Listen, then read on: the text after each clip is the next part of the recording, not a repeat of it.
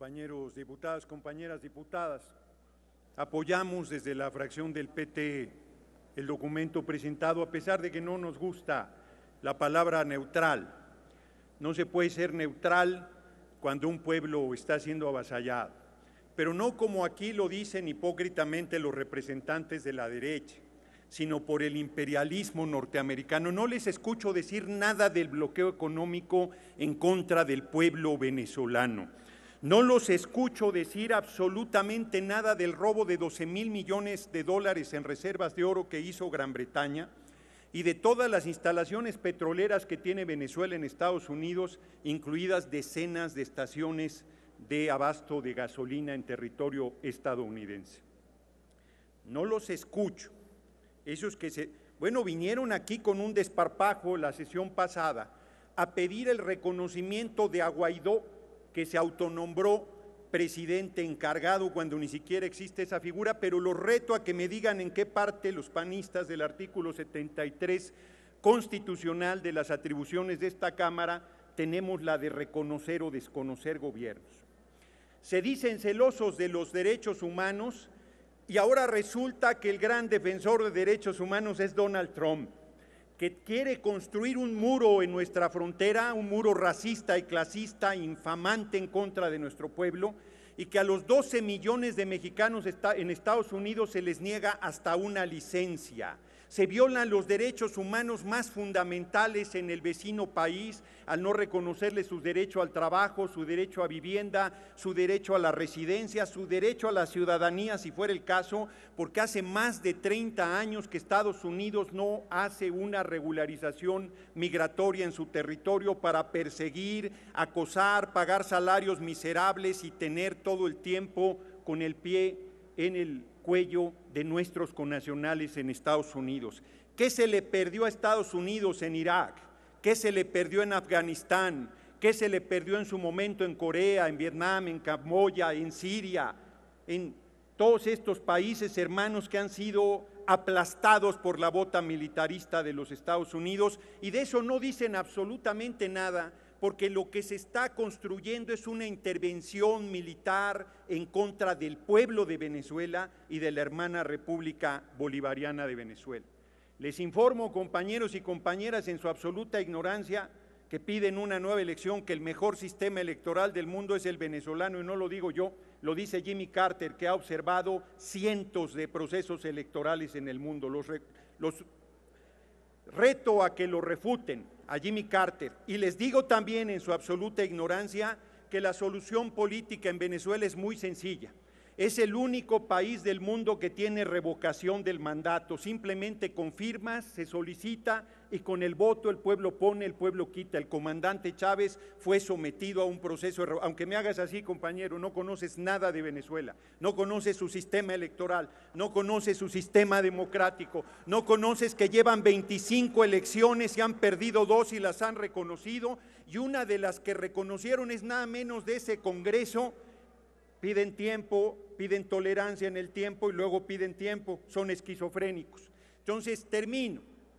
25 elecciones, una de ellas se perdió y reconocieron casi dos tercios de la Asamblea Nacional en manos de la derecha que encabeza a Guaidó y que se ha autonombrado presidente encargado, una figura ridícula, inexistente en la constitución venezolana. Así es que yo termino planteando, compañeros y compañeras, nuestro absoluto respaldo al pueblo venezolano y como la fracción del PT, nuestro absoluto respaldo al gobierno que encabeza el compañero presidente Nicolás Maduro de la hermana República eh, Bolivariana de Venezuela. Muchas gracias por su atención, compañeros y compañeras. Un momento, diputado. Eh, ¿Con qué objeto, eh, diputado Falomir, desea hacerle una pregunta? Acepta la pregunta el diputado. Adelante. Sí, gracias, presidenta. Menciona, diputado Noroña, que no está dentro de la Constitución de Venezuela la figura, como se autoproclama Guaidó. Yo nada más, y podría estar de acuerdo con usted, yo nada más le preguntaría si cuando Andrés Manuel se autonombró presidente legítimo de México, sí estaba en la Constitución. Solamente un sí o un no, por favor, diputado. No, yo le respondo como yo quiera que para eso estoy en la tribuna, y le voy a decir al compañero, lo voy a ilustrar ya que me preguntó. Primero, no existe la figura de presidente encargado. Léase la Constitución de Venezuela para que se ilustre y verá que es un invento, es una patraña. Segundo, a nosotros nos hicieron fraude en 2006. Nunca aceptó, te estoy respondiendo, tranquilo, nunca aceptó Acción Nacional y Felipe del Sagrado Corazón de Jesús Calderón Hinojosa el recuento del voto por voto y casilla por casilla que pedía el pueblo en manifestaciones multitudinarias. Está documentado. Nosotros, aunque nos robaron la presidencia, nunca le solicitamos a ningún gobierno extranjero que nos reconociera. Nunca le pedimos a nadie en el exterior que viniera a resolver los problemas internos de nuestra patria. Compañero presidente, para evitar un baño de sangre, asumió la figura de presidente legítimo que tuvo una amplia discusión dentro. Le puede preguntar al dirigente de su partido, Dante Delgado, que entonces nos acompañaba en ese movimiento. Yo tuve el honor de ser parte de la dirección política de ese movimiento. Vivíamos en el Zócalo, ahí dormimos 49 noches seguidas y en una discusión muy fuerte que tuvimos la dirección política de los tres partidos que apoyamos en ese momento al, hoy compañero presidente PRD, PT y, entonces Convergencia, había quien decía que se nombrara coordinador general de la resistencia.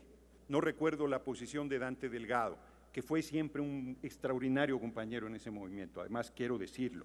Y se acordó que fuera presidente legítimo.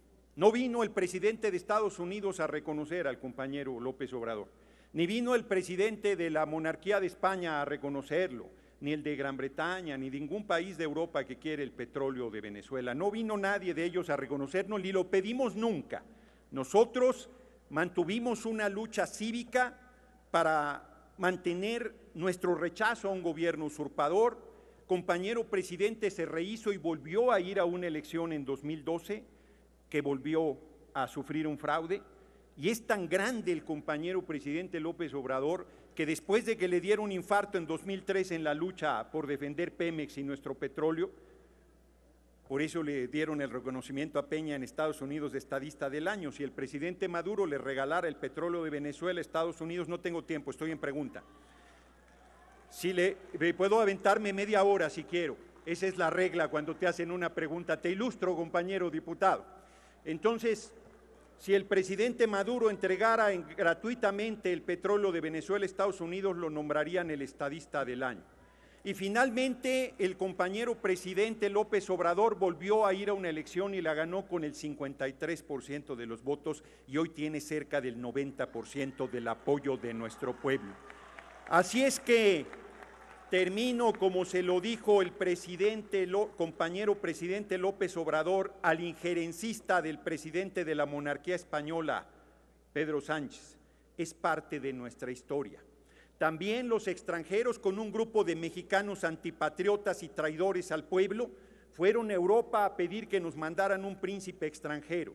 Son los tatarabuelitos de Acción Nacional, los conservadores del siglo XIX y el ejército francés vino con sus bayonetas a imponer a Maximiliano de Habsburgo, que más de dos años y medio gobernó nuestro país. Desconocieron al presidente que era nada menos que Benito Juárez García. Decían que no nos podíamos gobernar. Esas ayudas humanitarias ya las conocemos. Aquí nos robaron el 60% del territorio el gobierno de Estados Unidos. Entonces no decían ayuda humanitaria, decían que no sabíamos gobernarnos. Todavía en 1916 nos invadieron, todavía en 1916 nos invadieron persiguiendo al gran general Francisco Villa en esa mal llamada expedición punitiva. Así es que yo cierro, compañeros y compañeras, por historia, no, ridículos son los que piden el reconocimiento de Aguaidó. Traidores al pueblo de México, traidores al pueblo de Venezuela. Cinco de cada diez niños Cinco de cada diez niños comen una vez al día y no les importa, ahí no le llaman crisis humanitaria estos que han saqueado el país durante el gobierno del cabeza hueca de Fox y durante el gobierno usurpador de Felipe del Sagrado Corazón, de Jesús Calderón Ojosa, son unos hipócritas. Yo seré ridículo, pero ustedes son traidores al pueblo, hipócritas, vendepatrias, ignorantes de la Constitución, ignorantes de la historia, ignorantes del derecho internacional. Pero como diputado termino... Gerardo Fernández Noroña, le quieren hacer otra pregunta. Con mucho gusto. La diputada Abril Alcalá Padilla del PRD en el uso de la palabra. Con mucho gusto. Con su venia, diputada presidente. Adelante. Diputado Noroña, ya que habla usted de congruencia, eh, yo utilizando las mismas frases que ha utilizado en su prolongado discurso, dígame usted a usted qué se le perdió en Venezuela. Eh, critica a otros gobiernos por intervencionistas y pareciera defender una posición no intervencionista. Resulta que en, sus, en los pasados meses usted ha visitado este país apoyando muy claramente a, a, un personaje que es a todas luces un dictador, que el día de hoy se rehúsa a reconocer que el pueblo venezolano es el que está saliendo a las calles. Son ellos quienes están pidiendo que se retire. Y ¿La yo nada más, nada más le hago la pregunta muy clara. ¿Qué se le perdió a usted en Venezuela? Y si están ustedes en, esta postura de no intervención, ¿por qué sí se están poniendo de lado de un dictador, de una mala persona y de quien se reconoce que no ama a Venezuela, no ama a su pueblo y el traidor, yo creo, a México en esta situación está siendo usted, señor diputado. Bueno, primero, compañera diputada, no le acepto su injuria, no le acepto su injuria. Serénense, compañeros diputados, aprendan a escuchar. Yo no les grito cuando están hablando. Yo no les grito cuando están hablando. No les he gritado, los escucho todo el tiempo.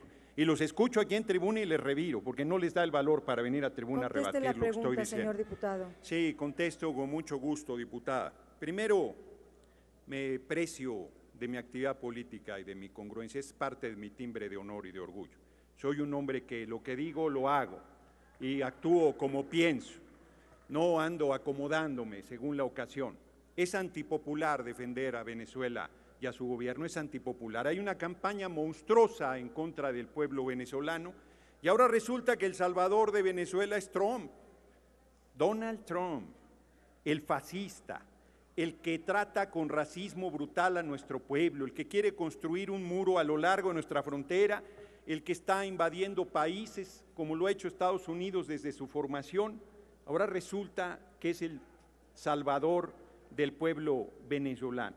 Así es que no le acepto la injuria, compañera diputada, y le voy a decir, a mí no se me perdió nada en ningún lugar, no soy aldeano como usted, yo volteo a la patria grande. Creo que debemos hacer una gran integración política de todos los países hermanos y hermanas que tenemos un mismo idioma, una misma raíz, una misma cultura, comparto con el gran Simón Bolívar su sueño de integración latinoamericana y he sido y seguiré siendo muy solidario con los pueblos del mundo, sobre todo con quienes sufren el bloqueo económico y la intervención del imperialismo de Estados Unidos.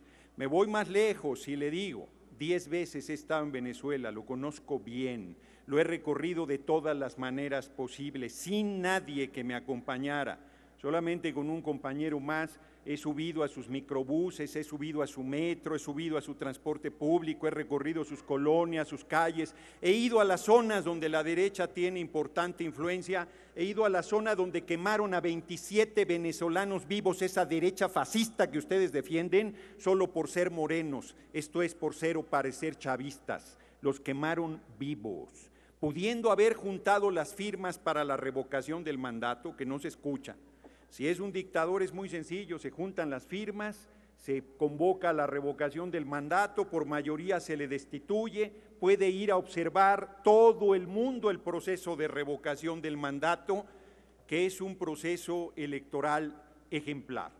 Ya termino con esa explicación porque creo que vale la pena. Para votar en Venezuela necesitas identificarte. Luego tu huella digital tu huella digital es la que te da acceso a votar en una membrana, le llaman, que es como un iPad gigante. ese compañero, y escuche. Y ahí picas. como si fuera el proceso del primero de julio. Ahí picas López Obrador y te aparece acá Ricardo Anaya, pero ni muerto, no, López Obrador. Y luego te aparece acá, ¿no? Otra vez, canalla, canallín, no, López Obrador. Y entonces ya te aparece aquí López Obrador, podría aparecer Morena, PT o. Ratificas y se va el voto electrónico. Y todo mundo dirá voto electrónico, pueden hacer cualquier manipulación. No, te da en papel tu voto y tú lo depositas en una urna. Y al final de la elección se manda todo el resultado electrónico y máximo a las 11 de la noche se recuenta más del 51% de las casillas y coincide perfectamente el resultado en papel con el resultado electrónico. No hay encuestas de salida. En la noche sabes quién ganó la elección y en mayo pasado de 2018 le comunico a la derecha con pesar para ustedes que quien fue reelegido presidente de la República Bolivariana de Venezuela se llama Nicolás Maduro Moros. Muchas gracias, compañeros y compañeras, por su atención. El diputado